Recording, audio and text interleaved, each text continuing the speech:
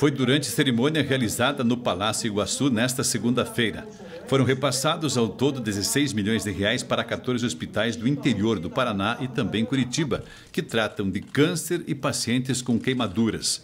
Para a nossa região, cerca de 412 mil reais para o Centro de Oncologia de Cascavel e Francisco Beltrão e quase 375 mil reais para o Hospital Policlínica Pato Branco.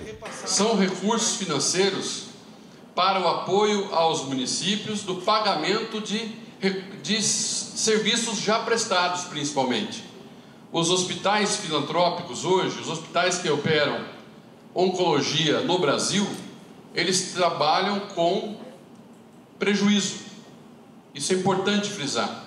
O governo federal hoje coloca 45% dos recursos necessários para a atuação dos hospitais em nível pleno. O restante desses recursos são colocados pelos estados e pelos municípios. Então, esse dinheiro do final de 2021, governador, que o senhor aprovou que nós pudéssemos fazer essa parcela única, vai ajudar os hospitais a conseguir pagar alguns outros encargos que já existiam, que já foram feitos os serviços, prestados os serviços e que agora vão ter acesso a esse pagamento de um extra para começar o ano 2022. O Paraná tem, nosso, através do nosso governo, nós temos trabalhado para descentralizar a saúde.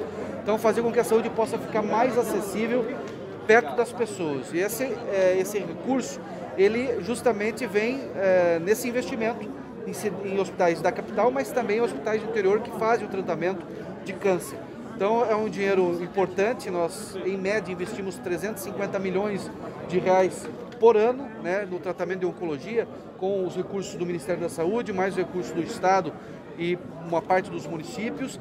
E esse recurso é um extra que nós estamos colocando para justamente fazer com que esses municípios, através dos hospitais, possam estar se modernizando com melhores equipamentos para atender a população que precisa fazer tratamento. O presidente do Conselho das Secretarias Municipais de Saúde do Paraná, Ivo Leonarechik, secretário em Mangueirinha, agradeceu os recursos para os hospitais paranaenses. Em nome dos gestores, em nome da saúde do Paraná, eu quero aqui enfatizar e agradecer.